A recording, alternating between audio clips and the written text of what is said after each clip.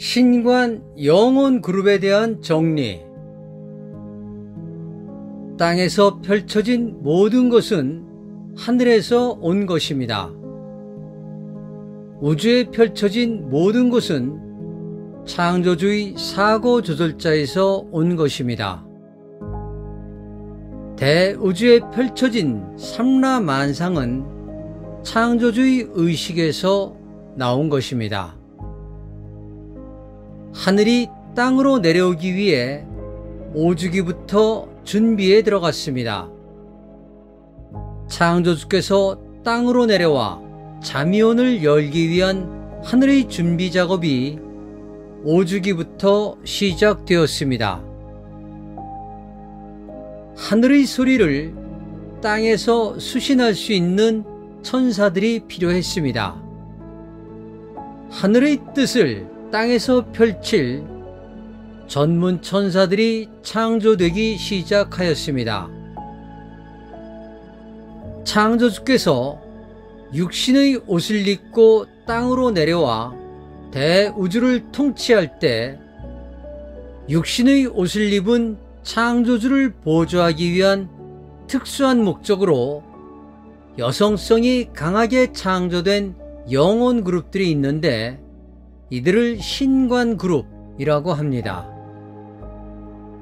신관 그룹들은 창조주를 최측근에서 보조하기 위하여 창조주의 진동수를 가진 19차원의 유토피언 천사들입니다. 신관 그룹들은 창조주를 최측근에서 보조하기 위하여 가장 높은 진동수를 가지고 창조된 영혼 그룹입니다. 신관 그룹들은 창조주를 최측근에서 보조하기 위하여 가장 순수한 에너지를 가지고 창조된 영혼 그룹입니다. 신관 그룹들은 창조주를 최측근에서 보조하기 위하여 특수한 사고 조절자를 부여받아 탄생한 영혼 그룹입니다. 신관 그룹들은 대우주의 물질 문명을 보급하기 위하여 특수한 목적으로 영혼이 창조되었습니다. 신관 그룹들은 육신의 옷을 입은 창조주를 최측근에서 보조하기 위하여 창조주의 에너지를 가장 많이 가지고 창조된 영혼 그룹입니다. 하늘이 땅으로 내려오기 위해 오주기 초부터 하늘에서는 신관 영혼 그룹들이 창조되기 시작하였습니다. 창조주께서 육신의 옷을 입고 직접 대우주 통치를 보조할 신관 영혼 그룹들이 오주기 초부터 하늘에서 창조되기 시작하였습니다.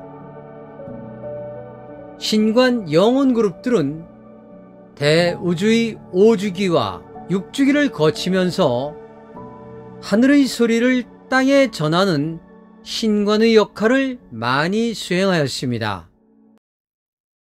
신관 영혼 그룹들은 대우주의 오주기와 육주기를 거치면서 황실에서 왕을 보조하는 환관의 역할을 많이 수행하였습니다. 신관 영혼 그룹들은 오주기와 육주기를 거치면서 행성마다 다양한 물질 문명의 매트릭스를 설치하고 관리하고 행성의 과학기술 문명을 유지하는 역할을 수행하였습니다. 신관 영혼 그룹들은 창조주를 보조하기 위하여 특수한 목적으로 탄생되었기에 많은 천사들로부터 부러움을 갖게 되었습니다. 신관 영혼 그룹들은 태극과 무극의 세계에서 각 차원에서 창조주의 에너지를 가장 많이 가지고 창조된 영혼 그룹입니다. 신관 영혼 그룹 중 우주적 신분이 가장 높은 그룹은 19차원의 신분을 가진 신관들입니다. 신관 영혼 그룹 중 우주적 신분이 가장 높은 19차원의 유토피언 신관 그룹들은 극소수만이 존재합니다. 신관 영혼 그룹 중 우주적 신분이 16차원과 17차원, 18차원의 신분을 가진 신관들이 있습니다. 신관 영혼 그룹 중 우주적 신분이 13차원과 14차원과 15차원의 신분을 가진 신관들은 상대적으로 적습니다. 신관 영혼 그룹들은 영혼의 진동수가 매우 높은 천사들입니다. 신관 영혼 그룹 중 최고위층은 하늘의 뜻을 땅에서 펼치는 문명 체인저나 게임 체인저로 태어나는 경우가 많습니다. 신관 영혼 그룹 중 대부분은 하늘의 소리를 땅에 전하는 역할을 하게 되며 하늘과 땅을 이어주는 삶을 살게 됩니다. 신관 영혼 그룹은 몸의 진동수가 떨어지게 되면 하늘의 소리를 들을 수 없으며 영적 능력이 퇴화하기 때문에 물질이나 세속의 욕망에서 벗어나는 삶을 프로그램하고 오게 됩니다. 신관 영혼 그룹이 육화를 하게 되면 영적 능력을 많이 쓰는 채널러의 역할을 많이 하게 됩니다. 신관 영혼 그룹이 육화를 하게 되면 과학자나 엔지니어들로 많이 태어나게 됩니다. 신관 영혼 그룹이 육화를 하게 되면 학자나 대학 교수와 같은 엘리트로 많이 태어나게 됩니다. 신관 영혼 그룹이 육화를 하게 되면 하늘의 소리를 땅에 전하는 영매자의 역할을 많이 하게 됩니다. 신관 영혼 그룹이 육화를 하게 되면 하늘의 소리를 땅에 전하는 창조적 소수의 역할을 많이 하게 됩니다.